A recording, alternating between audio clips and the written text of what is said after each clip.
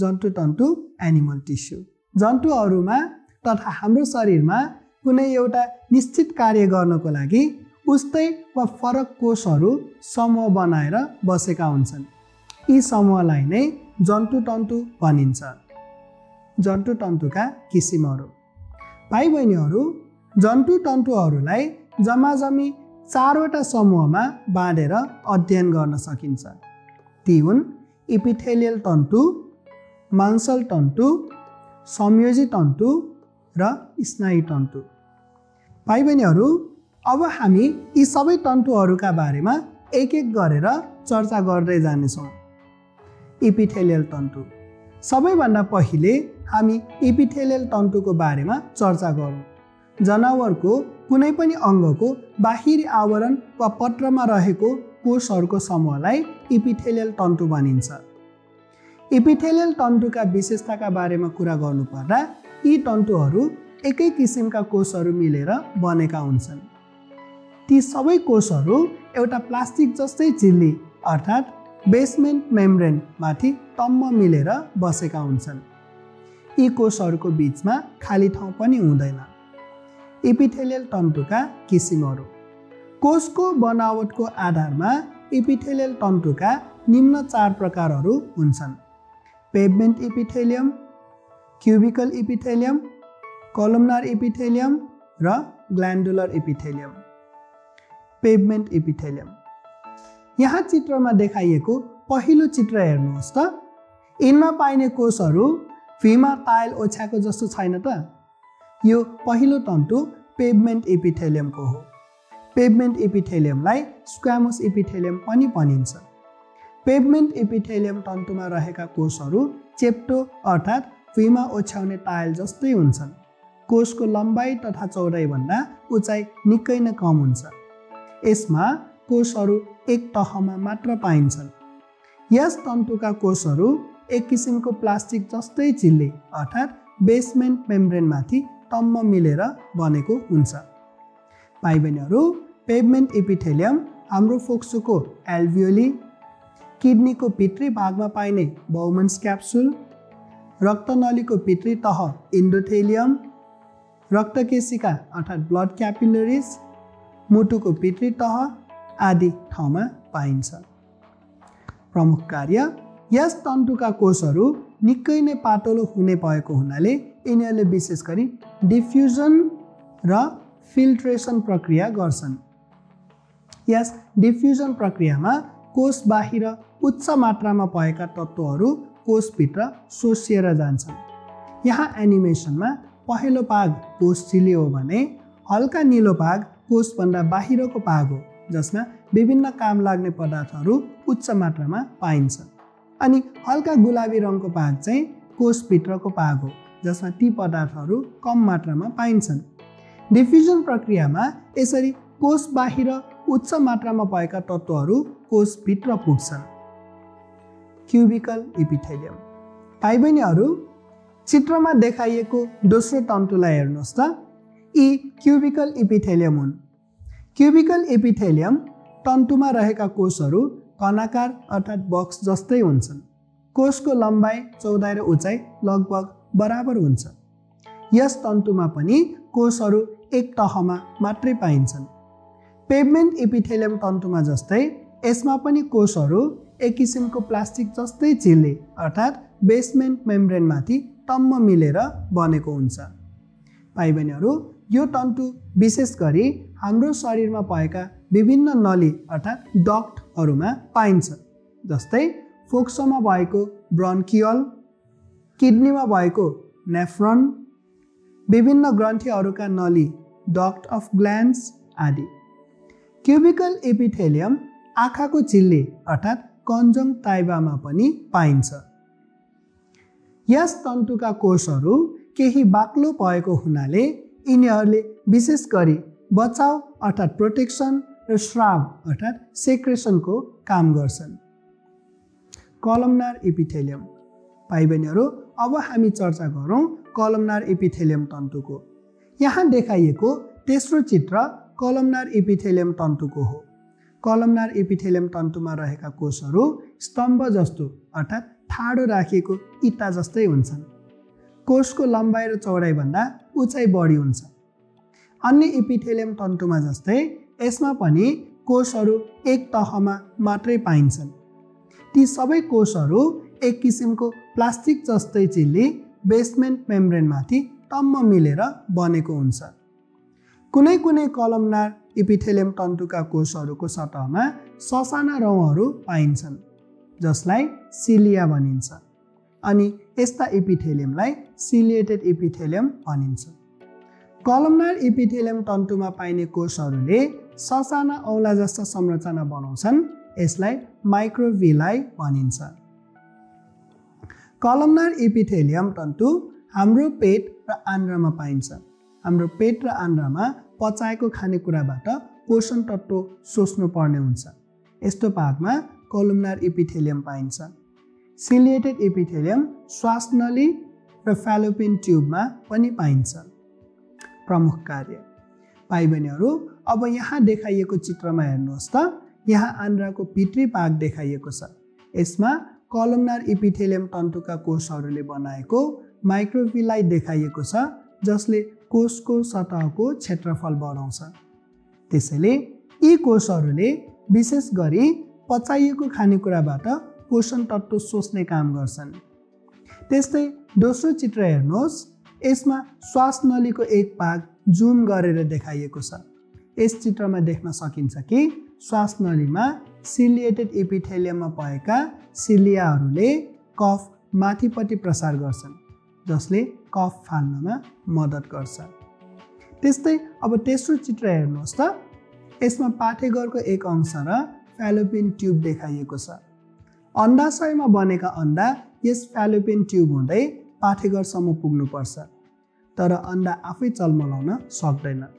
फ्यालोपिन ट्युबमा हुने सिलिएटेड एपिथेलियमले नै अन्डालाई पाठेघरतर्फ सार्न मद्दत गर्छ। Glandular epithelium. भाइ बहिनीहरू अब हामी चौथो प्रकारको इपिथेलियम तन्तुको चर्चा गरौँ।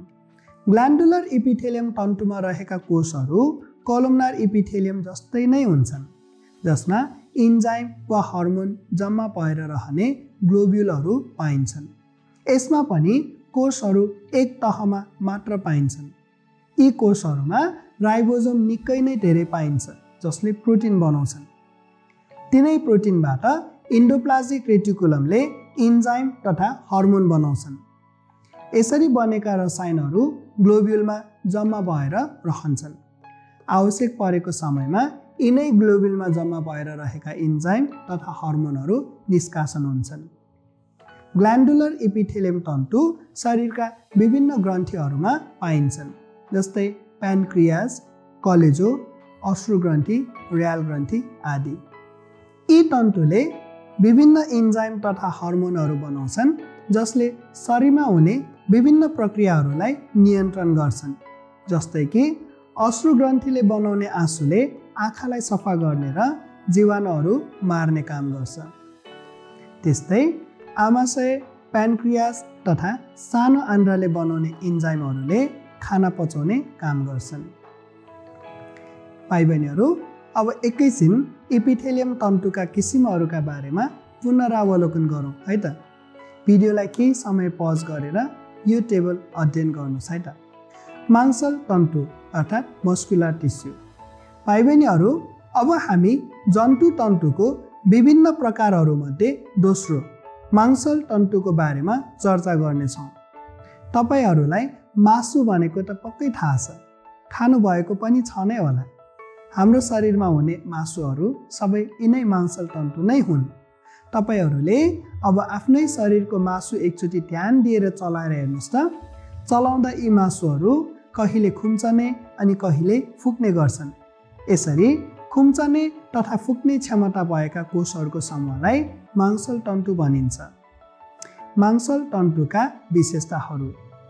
यी तन्तुहरू लाम्चो आकारका धागा जस्ता हुन्छन्। यिनमा एक्टिन र मायोसिन प्रोटिनहरू पाइन्छन् जुन तन्कन र खुम्चन सक्छन्। यी तन्तुले स्नायु प्रणालीबाट आउने इम्पल्स अर्थात् निर्देशन ग्रहण गर्न सक्छन्। सोही निर्देशन अनुसार नै मांसपेशीहरू तन्कने र खुम्चने गर्छन् र हाम्रो शरीरका विभिन्न अङ्ग चल्छन्। भाइ बहिनीहरू हाम्रो शरीरमा करिब छ सयवटा मांसपेसीहरू छन्। के सबै उस्तै होला नि त? कुनै मांसपेशी हाम्रो इच्छाअनुसार चलाउन सक्छौँ भने कुनै हाम्रो अधीनमा हुँदैनन्। मुटुको मांसपेशी त झन् कति पनि हाम्रो अधीनमा हुँदैन। केही मांसपेशीहरू हाम्रो अधीनमा हुन्छन् जसलाई कङ्कालपेशी तन्तु वा स्वैच्छिक मांसल भनिन्छ। त्यस्तै केही मांसपेशीहरू हाम्रो अधीनमा हुँदैनन्। ती मस्तिष्कबाट आएको निर्देशनअनुसार आफै स्वचालित हुन्छन्। यस्ता मांसपेशीहरूलाई चिल्लो मांसल तन्तु वा अस्वैच्छिक मांसल भनिन्छ। अनि मुटुमा पाइने विशेष किसिमको मांसपेशीलाई चाहिँ कार्डियाक मांसल भनिन्छ। अब यी प्रत्येकको छोटोमा चर्चा गरौँ।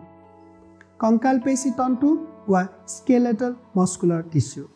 सबैभन्दा पहिले कुरा गरौँ कङ्कालपेशी तन्तुको। हड्डीहरूसँग टाँसिएर रहेको मांसपेशीलाई कङ्कालपेशी मांसल तन्तु भनिन्छ। यो तन्तु रेसा जस्तो लाम्चो आकारका हुन्छन्। यो मांसपेशी आफ्नो इच्छाले चलाउन सकिने हुनाले यसलाई स्वैच्छिक मांसपेशी वा भोल्युन्टरी मसल्स पनि भनिन्छ।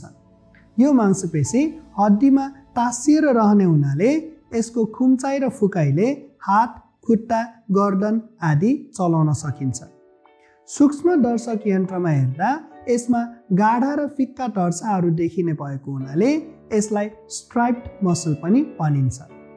यी कोषहरूमा अत्याधिक सङ्ख्यामा माइटोकन्ड्रिया रहेको हुन्छ जसले मांसपेशी चलाउनको लागि आवश्यक शक्ति उत्पन्न गर्छन्। यो तन्तु हात खुट्टाका मांसपेशी करङको मांसपेशी ढाडको मांसपेशी गर्दनको मांसपेशी आदिमा पाइन्छ। हात खुट्टामा भएका मांसपेशीले हात खुट्टा चलाउने हिडडुल गर्ने दौडने आदि गर्छन्। करङको मांसपेशीले श्वास फेर्न मद्दत गर्छन्। ढाडको मांसपेशीले हामीलाई सिधा उभिन निहुरिन जिउ फर्काउन मद्दत गर्छन् र गर्दनको मांसपेशीले टाउको घुमाउन मद्दत गर्छन्। चिल्लो मांसल तन्तु अर्थात् स्मुथ मस्कुलर टिस्यु विभिन्न नलीहरू जस्तै कि रक्तनली आन्द्रा आमाशय आदिमा पाइने मांसल तन्तुलाई चिल्लो मांसल तन्तु भनिन्छ। यी तन्तुहरू कुनै पनि हड्डीसँग टाँसिएर रहेको हुँदैनन्। त्यसैले यसले शरीरका भागहरू चलाउन कुनै भूमिका खेल्दैनन्। यी मांसपेशीहरू शरीरमा भएका विभिन्न नलीहरूमा पाइन्छन्। बरु यिनले ती नलीहरूलाई फुलाउने वा खुम्चाउने काम गर्छन्। यस तन्तुमा पाइने कोषहरू स्पिन्डल आकारका अर्थात् दुवैतिर चुच्चो परेको हुन्छ। यो मांसपेशी आफ्नो इच्छा अनुसार चलाउन सकिँदैन। यिनीहरू स्वचालित हुन्छन्।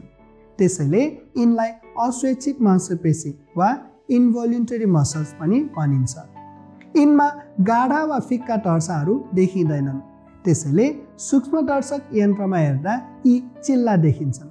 त्यसैले नै यिनलाई स्मुथ मसल्स भनिएको हो। चिल्लो मांसपेशी हाम्रो रक्तनली आन्द्रा आमाशय पिसाबको नली आदिमा पाइन्छ। यसले रक्तनलीलाई खुम्चाउने र फुकाउने काम गर्छन्। रक्तनली खुम्चँदा रक्तचाप बढ्छ भने रक्तनली फुक्दा रक्तचाप घट्छ। यसले आन्द्रालाई खुम्चाउने र फुकाउने काम गर्छन् जसले आन्द्रामा भएको पदार्थलाई पार वहन गर्न मद्दत गर्छ। यसले आमाशयलाई खुम्चाउने र फुकाउने काम गर्छन् जसले आमाशयमा भएको खानालाई इन्जाइम र अम्लसँग मिसाउन र खानालाई पचाउन मद्दत गर्छ। मुटुको मांसल तन्तु कार्डियाक मस्कुलर टिस्यु। मुटुको भित्तामा पाइने मांसपेशीलाई कार्डियाक मांसपेशी भनिन्छ। यो तन्तु अरू कुनै पनि अङ्ग वा भागमा पाइँदैन। यसका कोषहरू लामा लामा हुन्छन् तर यी कोषहरू हाँगाहरूले एक अर्कासँग जोडिएका हुन्छन्। सूक्ष्म दर्शक यन्त्रमा हेर्दा यिनमा पनि गाढा र फिक्का टर्साहरू देखिन्छन्। यसमा धेरै सङ्ख्यामा माइटोकन्ड्रिया पाइन्छन् जसले मुटु टड्काउनको लागि आवश्यक शक्ति उत्पादन गर्छन्। के कुरा याद गर्नुहोस् भने मुटुको मांसपेशीले कहिले पनि आराम गर्न पाउँदैनन् तिनले थाक्न पनि पाउँदैनन्। त्यसैले मुटुको मांसपेशीलाई निकै नै धेरै मात्रामा शक्तिको जरुरत पर्छ। अनि शक्ति बनाउँछन् माइटोकन्ड्रियाले। त्यसैले त मुटुको मांसपेशीमा धेरै सङ्ख्यामा माइटोकन्ड्रिया पाइन्छन्। मांसल तन्तु मुटुको भित्तामा पाइन्छ। यसको प्रमुख काम भनेको यसको निरन्तर खुम्चाइ र फुकाइले मुटु धड्कन्छ संयोजी तन्तु वा कनेक्टिभ टिस्यु भाइ बहिनीहरू मांसल तन्तुपछि अब हामी संयोजी तन्तुको बारेमा चर्चा गरौँ। विभिन्न प्रकारका तन्तुहरू तथा अङ्गहरूलाई जोड्ने तन्तुलाई संयोजी तन्तु भनिन्छ। संयोजी तन्तुमा एकभन्दा बढी किसिमका फरक फरक कोषहरू हुन सक्छन्। यी कोषहरू एक अर्काबाट टाढा टाढा रहेका हुन्छन्। कोषहरू बिचको खाली भागलाई इन्टरसेलुलर स्पेस भनिन्छ जसमा पानी खनिज र कोषले निष्कासन गरेका पदार्थ तथा फाइबरहरू पाइन्छन्। इन्टरसेलुलर स्पेसमा भएका यी पदार्थहरूलाई म्याट्रिक्स भनिन्छ। संयोजी तन्तुका प्रकारहरू। भाइ बहिनीहरू संयोजी तन्तुको बारेमा विस्तृतमा चर्चा गर्नु अघि यो चार्ट हेर्नुहोस् है। हामीले अघिदेखि हेर्दै आएको चार्टको एउटा अंश यहाँ देखाइएको छ। केही समय भिडियोलाई पज गर्नुहोस् र यो चार्टको अध्ययन गर्नुहोस्। एरियोलार संयोजी तन्तु अर एरियोलार कनेक्टिभ टिस्यु। भाइ बहिनीहरू सबैभन्दा पहिले कुरा गरौँ एरियोलार कनेक्टिभ टिस्युको। चित्रमा ध्यान दिएर हेर्नुहोस् त। यसमा कोषहरू एकदमै टाढा टाढा बसेका छन् होइन त? अनि कोषहरू बिचको खाली भागलाई इन्टरसेलुलर स्पेस भनिन्छ जसमा तरल पदार्थ र फाइबरहरू पाइन्छन् जसलाई म्याट्रिक्स भनिन्छ। यस प्रकार कोषहरू हलुका किसिमले बसेको र म्याट्रिक्समा पानीको मात्रा धेरै हुने भएकोले एरियोलार संयोजी तन्तुहरू नरम खालका हुन्छन्। यसमा पाइने कोषहरू प्लाज्मा सेल मास्ट सेल र फाइब्रोब्लास्ट हुन्। यीमध्ये प्लाज्मा सेलले तन्तुको लागि आवश्यक शक्ति र पदार्थ उत्पादन गर्ने काम गर्छ। फाइब्रोब्लास्टले फाइबरहरू उत्पादन गर्छन् जसले तन्तुलाई बलियो बनाउँछ। त्यसै गरी मास्ट सेलले यदि कुनै जीवाणु तन्तुभित्र आइपुगेमा तिनलाई मार्ने र सङ्क्रमण हुनबाट बचाउने काम गर्छ। म्याट्रिक्समा पानीको अलावा केही मात्रामा फाइब्रोब्लास्ट सेलले बनाएका फाइबर तत्त्वहरू पनि पाइन्छन्। यी तन्तुमा दुई किसिमका फाइबरहरू पाइन्छन् सेतो कोलाजेन फाइबर र पहेँलो इलास्टिक फाइबर। कोलाजेन फाइबरले यो तन्तुलाई बलियो बनाउँछ भने इलास्टिक फाइबरले तन्तुलाई तन्कन र खुम्चन मद्दत गर्छन्। यो तन्तु हाम्रो धेरैजसो अङ्गमा पाइन्छ। फोक्सो मृगोला कलेजो स्तन रक्तनली आदि अङ्गहरूको इपिथेलियमको मुनि यो तन्तु पाइन्छ। यस तन्तुको मुख्य कार्य अङ्गहरूलाई आकार दिने र अङ्गहरूमा बनेको खाली ठाउँ पुर्ने साथै इपिथेलियमलाई अन्य तन्तुहरूसँग जोड्ने हो। एडिपोज संयोजी तन्तु अर्थात् एडिपोज कनेक्टिभ टिस्यु। नरम संयोजी तन्तु अन्तर्गत एडिपोज तन्तु पनि पर्दछन्। एडिपोज संयोजी तन्तु मुख्यतया एडिपोसाइट्सले बनेको हुन्छ। एडिपोसाइट कोषले बोसोको रूपमा शक्ति सञ्चय गर्ने गर्छ। शरीरमा खानाको पूर्ति नहुँदा यिनै एडिपोसाइटमा भएको बोसो पगालेर शरीरले शक्ति उत्पादन गर्ने गर्छ। त्यसैले भाइ बहिनीहरू अलि मोटो गाटो मान्छे लगभग एक महिना पुरै केही खान पाउँदैन भने पनि बाँच्न सक्छ। तर डुब्लो पातलो मानिस चाहिँ सक्दैनन् किनभने उनीहरूमा पर्याप्त बोसो नै हुँदैन। एडिपोसाइट कोषमा निकै नै सानो न्युक्लियस हुन्छ। यसमा बोसो जम्मा हुँदै जाँदा यी कोषहरू धेरै गुणासम्म फुल्न सक्छ। यदि कोही मानिस बिस्तारै मोटाउँदै गएको छ भने उसको छाला मुनि भएका एडिपोसाइटको सङ्ख्या बढ्दैन भाइ बहिनीहरू बरु ती कोषहरू फुल्न थाल्छन्। यो तन्तुमा निकै नै थोरै मात्रामा मेट्रिक्स पाइन्छ जसमा केही मात्रामा कोलाजेन फाइबरहरू पाइन्छन्। एडिपोज तन्तु छालाको मुनि र अङ्गहरूको वरिपरि पाइन्छ। बोसो तापको कुचालक भएको हुनाले यसले शरीरको भित्री भागलाई न्यानो बनाइराख्छ र चिसोबाट बचाउँछ। साथै यसले कुसनको रूपमा पनि काम गर्छ। खदिलो संयोजी तन्तु फाइब्रस कनेक्टिभ टिस्यु भाइ बहिनीहरू अब हामी तेस्रो किसिमको नरम संयोजी तन्तुको चर्चा गरौँ। खदिलो संयोजी तन्तु अर्थात् फाइब्रस कनेक्टिभ टिस्यु कोषहरू हलुका किसिमले बसेको तर म्याट्रिक्समा पानीभन्दा फाइबरको मात्रा निकै धेरै हुने हुनाले यी संयोजी तन्तुहरू खदिलो खालका हुन्छन्। यो तन्तुमा मुख्यतया फाइब्रोब्लास्ट कोषहरू पाइन्छन्। यी फाइब्रोब्लास्ट कोषहरूले धेरै मात्रामा फाइबर तत्त्वहरू बनाउँछन्। फाइबर तत्त्वहरू प्रोटिनले बनेका टागो तथा रबर जस्ता ठोस वस्तु हुन्। खदिलो संयोजी तन्तुमा दुई प्रकारका फाइबरहरू पाइन्छन्। कोलाजिन फाइबर र इलास्टिन फाइबर। भाइ बहिनीहरू कोलाजिन फाइबर धेरै तन्कन सक्दैन र बलियो हुन्छ भने इलास्टिन फाइबर चाहिँ धेरै तन्कन सक्छ रबर जस्तै। त्यस्तै कोलाजिन फाइबरको रङ सेतो हुने हुनाले यसलाई सेतो फाइबर पनि भनिन्छ अनि इलास्टिन फाइबर चाहिँ पहेँलो रङको हुने हुनाले यसलाई पहेँलो फाइबर पनि भनिन्छ। तन्तुको म्याट्रिक्समा यी दुई प्रकारका फाइबरहरूमध्ये कुन किसिमको फाइबर बढी छ त्यसको आधारमा खदिलो संयोजी तन्तु दुई किसिमका हुन्छन्। लिगामेन्ट र टेन्डन। लिगामेन्टमा इलास्टिन फाइबर बढी पाइन्छ भने टेन्डनमा कोलाजेन फाइबर बढी पाइन्छ। त्यसैले लिगामेन्ट धेरै तन्कन सक्छ तर टेन्डन खासै तन्कन सक्दैन। लिगामेन्ट कुनै पनि दुईवटा हड्डीहरूको बिचको जोड्नीमा पाइन्छ जहाँ यसले हड्डीहरूलाई जोड्ने जोड्नी चलाउँदा एक आपसबाट टाढा गएको हड्डीहरूलाई फेरि आफ्नै स्थानमा फर्काउने काम गर्छ। त्यस्तै टेन्डन चाहिँ हड्डी र मासु जोडिने ठाउँमा र आँखाको सेतो भागमा पाइन्छ। यसले हड्डी र मासुलाई जोड्छ। मांसपेशी खुम्चँदा यसले हड्डीलाई आफूसँगै तान्छ र हातखुट्टा चलाउन मद्दत गर्छ। कडा संयोजित तन्तु अर्थात् हार्ड कनेक्टिभ टिस्यु। भाइ बहिनीहरू अब हामी कडा संयोजित तन्तुको बारेमा चर्चा गरौँ। कोषहरूको बिचमा हुने म्याट्रिक्समा कडा खनिज पदार्थहरू धेरै मात्रामा पाइने हुनाले यी तन्तुहरू निकै नै कडा हुन्छन्। कडा संयोजित तन्तुहरू दुई प्रकारका हुन्छन् हार्ड अर्थात् बोन र कुरकुरे हार्ड अर्थात् कार्टिलेज। हार्ड। पहिले कुरा गरौँ हार्डको बारेमा। हार्डमा मुख्यतया अस्टियोसाइट कोषहरू पाइन्छन्। यी कोषहरूले म्याट्रिक्समा क्याल्सियमका लवणहरू निष्कासन गर्छन्।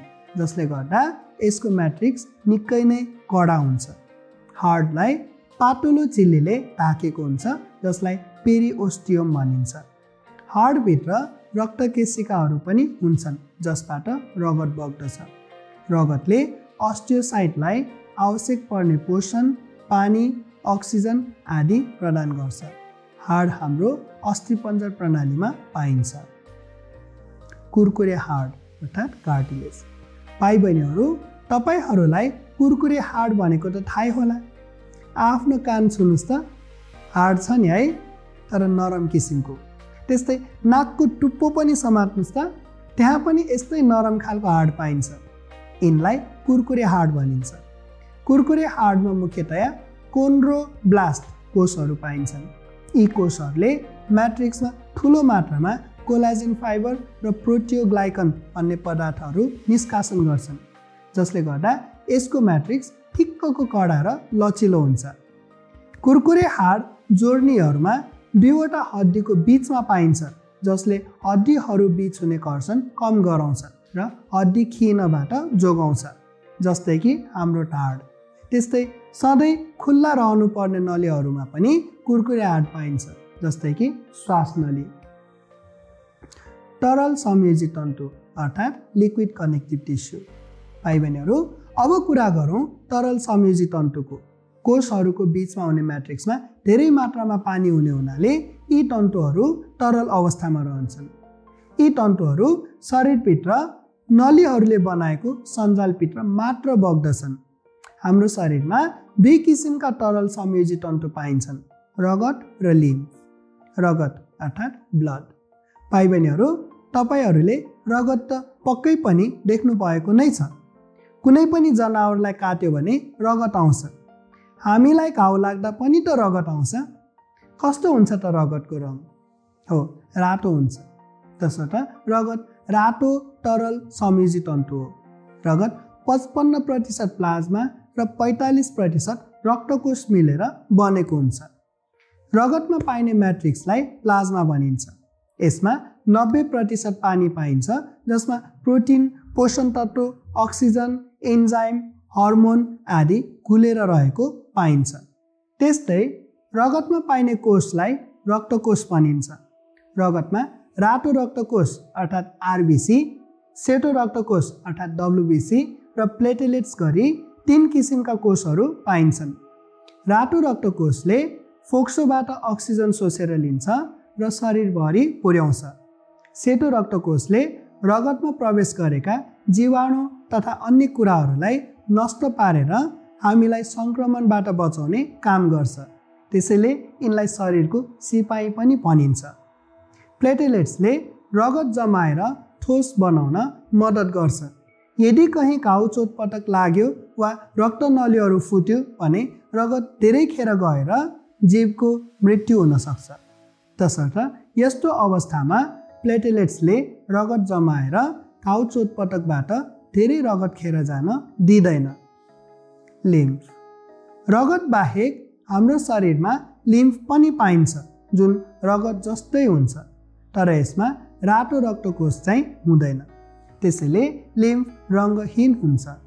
लिम्फ रङ्गहीन तरल संयोजी तन्तु हो। लिम्फमा पाइने म्याट्रिक्सलाई प्लाज्मा भनिन्छ। यसको संरचना रगतमा पाइने प्लाज्मासँग मिल्दोजुल्दो हुन्छ। लिम्फमा पाइने कोषलाई लिम्फोसाइट भनिन्छ। लिम्फोसाइटले ब्याक्टेरिया तथा भाइरसलाई मार्ने र हामीलाई सङ्क्रमणबाट बचाउन मद्दत गर्छन्। यो रक्तनली र तन्तुहरूको बिचमा पाइन्छ। दिएको चित्रमा हेर्नुहोस् त भाइ बहिनीहरू यसले रगत र तन्तुहरू बिच पुलको काम गर्छ। अर्थात् रगतबाट पानी पोषण अक्सिजन आदि छानिएर अन्तर्कोशीय स्थानमा आउँछ जुन लिम्फ बन्दछ। त्यसपछि मात्र लिम्फबाट यी तत्त्वहरू तन्तुहरूमा जान्छन्। साथै तन्तुहरूले बनाएका विकार पदार्थहरू पनि लिम्फमा नै मिसिन आउँछ। लिम्फ नलीहरू मार्फत बग्दै गएर अन्तमा रगतमा नै मिसिन्छ र रगतले यसमा भएका विकार पदार्थहरूलाई निष्कासन गर्नको लागि फोक्सो कलेजो तथा मृगौलामा लिएर जान्छ। स्नायुतन्तु अर्थात् नर्भस टिस्यु। भाइ बहिनीहरू अब अन्तिममा हामी स्नायुतन्तुको बारेमा चर्चा गरौँ। हाम्रो शरीर बिजुलीले चल्छ भन्दा तपाईँहरूलाई कतिको विश्वास लाग्छ? तपाईँहरू विश्वास गर्नुहोस् या नगर्नुहोस् तर हाम्रो शरीर बिजुलीले चल्छ। अनि बिजुली निकाल्ने काम चाहिँ हाम्रो मस्तिष्क तथा स्नायुहरूले गर्छन्। मस्तिष्क तथा स्नायुहरूले उत्पादन गर्ने विद्युतीय तरङ्ग अर्थात् नर्भ इम्पल्सलाई प्रसारण गर्न सक्ने तन्तुलाई स्नायुतन्तु भनिन्छ। स्नायुतन्तुमा मुख्यतया न्युरोन र न्युरोग्लिया कोष पाइन्छ। स्नायु कोष अर्थात् न्युरोनको संरचना चित्रमा देखाइएको छ। भाइ बहिनीहरूले कृपया यो चित्रको राम्ररी अध्ययन गरेर आफ्नो कपीमा पनि उतार्नुहोस्। स्नायुतन्तु मुख्यतया मस्तिष्क सुषुम्ना अर्थात् स्माइनल कर्ड र स्नायु रेसा अर्थात् नर्भ फाइबरमा पाइन्छ। यसको प्रमुख काम शरीरका विभिन्न अङ्गहरूलाई निर्देशन दिने अङ्गहरूको बिचमा संयोजन गर्ने बाहिरी वातावरणका अवयवहरूमा आउने परिवर्तन थाहा पाउने आदि हुन्। यति बुझ्नुहोस् कि स्नायुतन्तु नहुने हो भने हामी हाम्रो शरीरका कुनै पनि अङ्गहरू चलाउन नै सक्ने थिएनौँ। अनि हाम्रो शरीरको कुनै पनि भागमा छुँदा पनि हामीले केही थाहा पाउने थिएनौँ। अनि न त हामी आँखाले केही देख्छौँ न त कानले केही सुन्छौँ न त कुनै कुराको गन्ध पाउँछौँ न त स्वाद। सोच्नुहोस् त के हुन्थ्यो होला त यसो भइदिएको भए? भाइ बहिनीहरू आशा छ तपाईँहरूले यो पाठ राम्रोसँग बुझ्नुभयो होला। कुनै कुरामा नबुझेको भए भिडियो फेरि फेरि दोहोऱ्याएर हेर्न सक्नुहुन्छ। अथवा ती कुराहरू आफ्ना साथीहरू र शिक्षकहरूसँग छलफल गरेर पनि बुझ्न सक्नुहुन्छ। यदि अझै पनि कुनै प्रश्न भएमा यसै भिडियोमा कमेन्ट मार्फत पनि आफ्ना जिज्ञासा राख्न सक्नुहुन्छ। म र मेरो टिमका साथीहरूले सम्भव भएसम्म तपाईँहरूको जिज्ञासा मेटाउने कोसिस गर्ने नै छौँ। यति भन्दै म तपाईँहरूसँग बिदा लिन्छु है त? भाइ बहिनीहरू हामी अर्को एकाइमा फेरि भेट्नेछौँ। धन्यवाद।